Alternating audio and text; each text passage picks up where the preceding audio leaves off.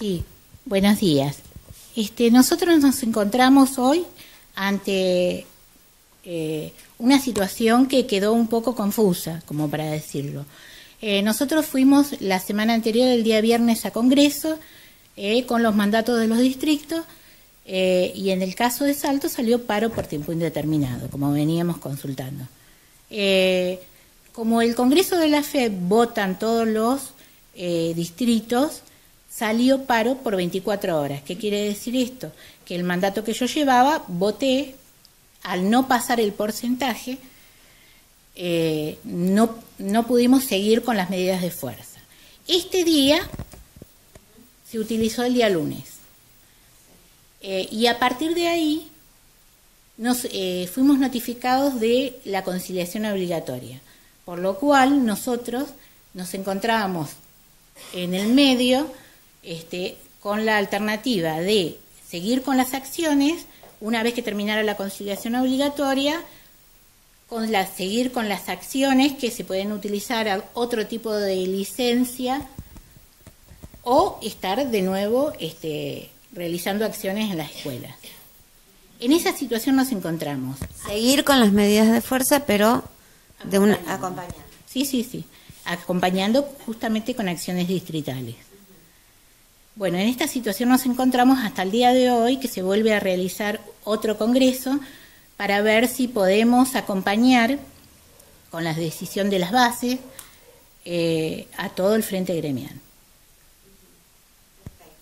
Bueno, esto por un lado. Por el otro lado, eh, ¿qué pasa con el frente gremial? ¿Cuál va a ser las acciones que van a realizar? Bueno, eh, bueno, no, yo eh, lo que quiero decir, a, acotar a lo que dijo Carmen y que quiero dejar en claro es que el Frente Gremial sigue firme, o sea, la modalidad o la forma a lo mejor es diferente porque SUTEBA desde un inicio, en la primera asamblea, votó el no inicio de clases.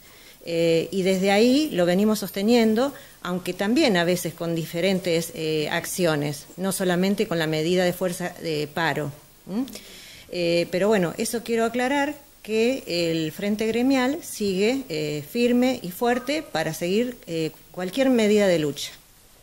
Está bien, porque, o sea, debido a algunas declaraciones, obviamente parecía como que FED se había abierto del Frente Gremial, pero no es así, ¿no? No, no, bajo ningún punto de vista vamos a romper este, esto que nos costó construir durante tantos años. la fuerza se hace a través de la consolidación de los diferentes gremios.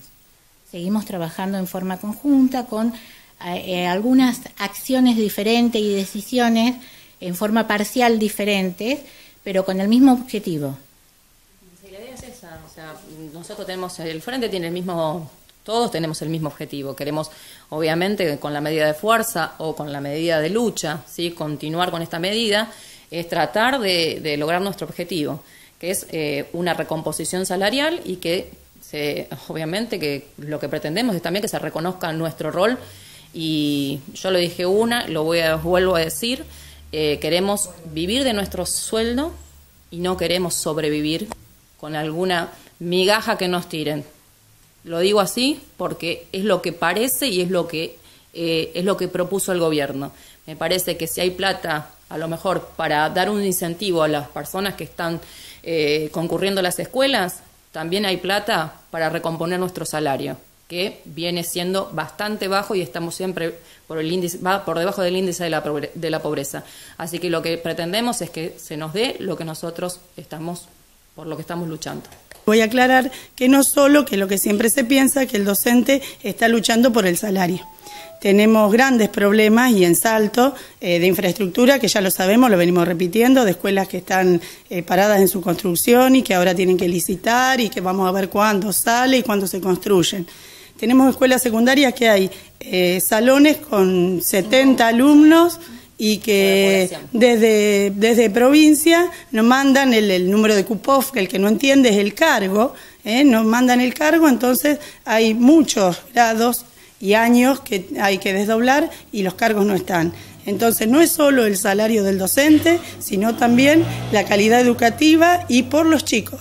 ¿Eh? que si estamos luchando también es por la educación de los chicos, porque no son condiciones, 60, 70 alumnos en un salón no son condiciones y no hay forma de aprender, normal que el docente vaya y que esté, pero el aprendizaje es mucho más difícil que pueda darse, la calidad educativa la perdemos.